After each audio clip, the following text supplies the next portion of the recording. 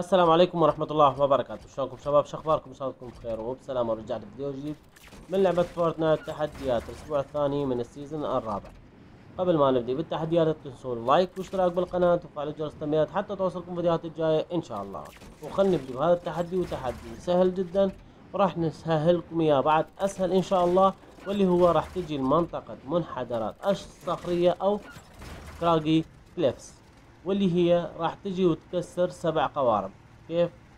هو التحدي راح يكون بهذا الفيديو إن شاء الله. استمروا حطوا like إن شاء الله راح يكون. راح نبدي بتكسير القوارب. طبعا راح تكسر سبع قوارب بهذا المكان واللي هو Craggy Cliff اللي تروح تكسر القوارب تشوفون مثلا تشوفون كسر القوارب ممكن يكون القوارب اللي تشتغل نقدر ننتقل بيها.